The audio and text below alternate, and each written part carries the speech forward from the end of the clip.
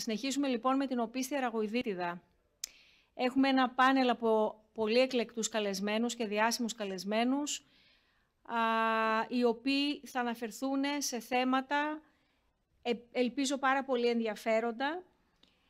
Όταν με το τέλος κάθε διάλεξης θα γίνονται ερωτήσεις, ώστε να, ε, γιατί έχουμε την ευκαιρία τότε να ε, έχουμε την συμμετοχή του μιλητή. Οι δύο μιλητές είναι, τρεις ομιλητές είναι από την Αμερική, από το Στάνφορντ και το Harvard. Υπάρχει zone difference ε, και ας το σεβαστούμε αυτό και γι' αυτό το λόγο ε, πρέπει να ξεκινήσουμε αμέσως. Ξεκινάμε με τον Φρανσέσκο Πίτσι. Hi, Francesco. How are you? Hello, how are you doing? It's an honor to have you here.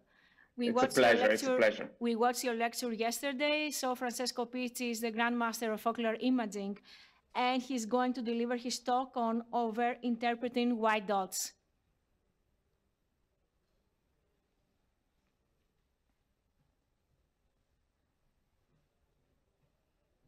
Good morning. It's my pleasure today to talk about overinterpreting white dots. These are my financial disclosure. When I think of white dots, I think of the English verbs. So sometimes when you see them isolated, they have one meaning, but then you add one small word next to it and they change meaning completely. The same thing to me applies to white dot syndrome.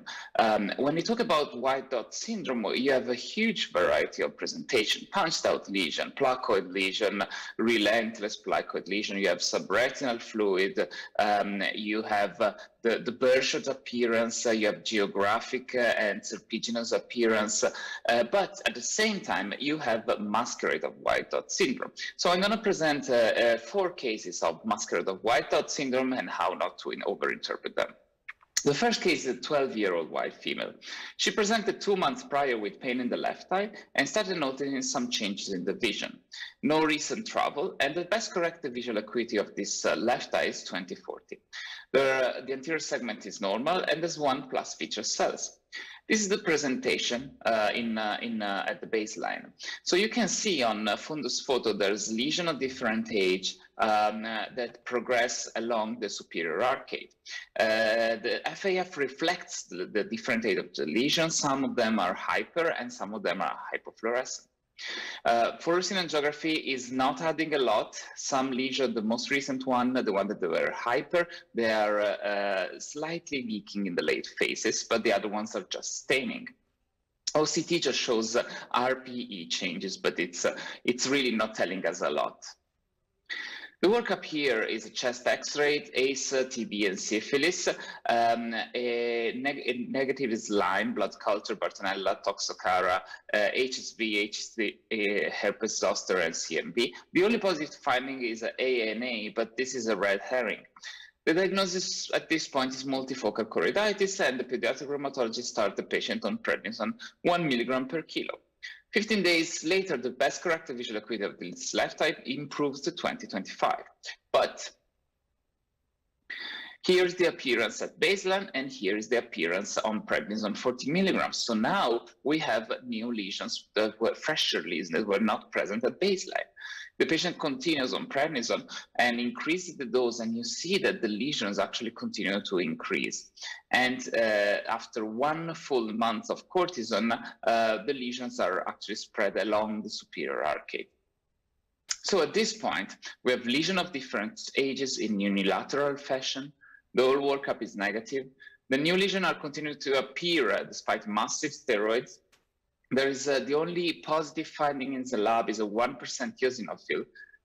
And so what we can do to help us here is, is have a look at non-wide field color pictures. So this is the color picture representation, and this is our culprit. So at this time point in enlargement, we can see a small worm inside the retina. So this is a case of DUSN masquerading as multifocal choroiditis. When you look at the retina, you can convince yourself that all kind of things look like a worm. Uh, having an OCT will make you surely feel better about blasting the worm in the laser. The other option, if you cannot find the laser and you suspect DUSN, is to use albendazole. It produces an intense white spot in the subretinal space about a week later where, where the worm died. Let's move on to the second case. A 70-year-old man with four or five months history of uveitis in the left eye is referred to us for systemic evaluation of uh, Behçet, which is HLA-29 negative. Um, he has uh, glaucoma on Kosotex and and the past medical history is negative. Now, this left eye is a 2040 vision and a positive APD. Um, here is the appearance of the anterior segment. You can see there are uh, mutton fat KPs nearly in an Arlt triangle, which are quite weird for a Behçet patient. Um, and here is the appearance of the fundus. So um, uh, there are white lesions uh, distributed mostly nasal, which do resemble uh, Behçet, and uh, there's a major degree of vitritis. But on FA, there is zero leakage.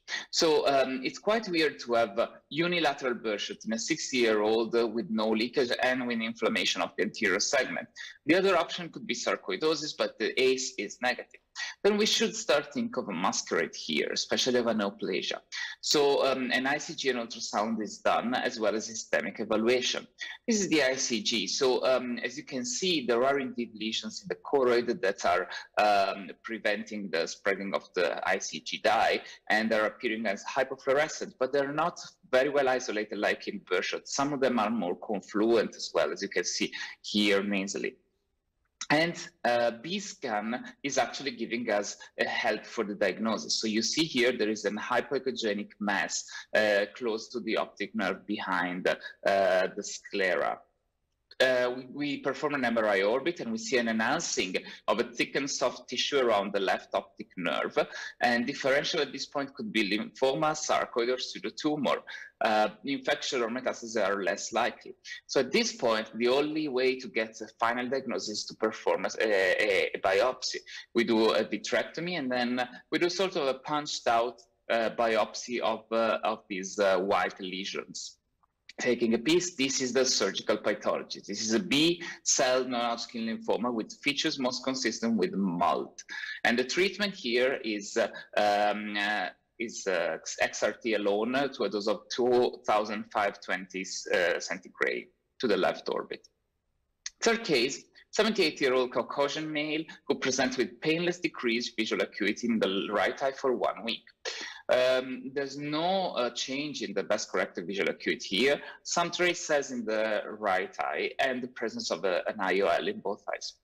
In the past medical history has small cell lung cancer that was uh, uh, treated with chemo radiation in 2008 and an history of uh, uh acute myeloid leukemia that treated with chemotherapy once. So this is the appearance. You see uh, along the inferior arcade, there are white dots with a small dots hemorrhage um, next to them. And these white dots are present uh, along the uh, supranasal um, uh, uh, periphery and are also present um, along the nasal periphery. So you see their white uh, plaque with the hemorrhagic dots next to them. Now here, the working diagnosis is pointing towards an infection. This could be for sure um, a case of herpes retinitis. So we, we perform intravitreal foscarnet in this patient, and we get at the same time a vitreous PCR that comes, comes back negative. Um, the serum assay only shows IgG for uh, zoster. Um, there's, so we do not perform at this point any treatment with any ganciclovir implant. But then the patient with this uh, appearance detaches. Uh, he returns with a macular involving retinal detachment and he undergoes uh, sclerobacular and PPV with silicone oil placement. Um, at this point, we repeat PCR during the surgery for herpes, but again, it all comes back negative. Um, after silicone oil and vitrectomy, this is the appearance of this right eye. You can see the laser, and among them, among the laser areas, there's this white plaques with the hemorrhagic uh, dots, and they're increasing in, um, in size and spreading. Uh, at this point, the only way is to take a piece since the systemic evaluation for herpes, tox, or Lyme syphilis is negative. Um, the retina biopsy is scheduled and it results with a small cell carcinoma involved in the retina. Case four, the final case is 16-year-old female. The past medical history shows difficulty coordinating movements since she was a, a child. She's a bit clumsy when walking. Um, in uh, the past ocular history shows ophthalmoplegia and saccades. She's referred for uh, diagnosis of multifocal choroiditis or AMPI. Um, now, this is the appearance of the right eye. You can see there are um, multiple areas of the pigmentation, RPE changes um, that are reflected on autofluorescence. You see um, autofluorescence shows a speckled hyper and hypo autofluorescence, but the margins are still a bit hyper. So this may be considered active. And um, uh, shows staining of these areas. OCT proved that the RPE is indeed remodeled everywhere, and there's a bit of a loss of the ellipsoid zone. Same things uh, is for the left eye, as you can see here in fluorescent angiography, the areas are staining. So the patient is diagnosed with serpiginous choroiditis, she's deemed active and started off azathioprine 100 milligram per day. It's a bit weird to have serpiginous choroiditis like this in a young kid.